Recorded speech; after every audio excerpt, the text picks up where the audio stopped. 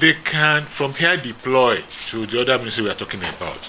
They can deploy the environmental to water resources, to agri, but they should environmental should be domiciled here at the Ministry of Health.